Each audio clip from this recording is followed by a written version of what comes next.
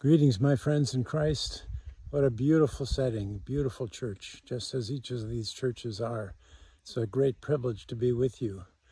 On September 10th, Rally Sunday, Bibles will be given out. What a wonderful moment in the church.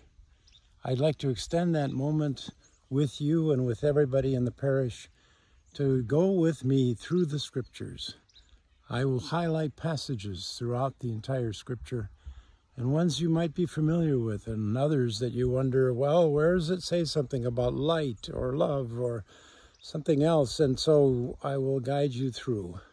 Please join the third graders, their parents, their grandparents, their baptismal sponsors, you, and enjoy just walking through the Bible, personalizing it, taking out a highlighter, and making that Bible personally yours so that you will know where those special passages are. Please join me in the weeks to come. Thanks be to God.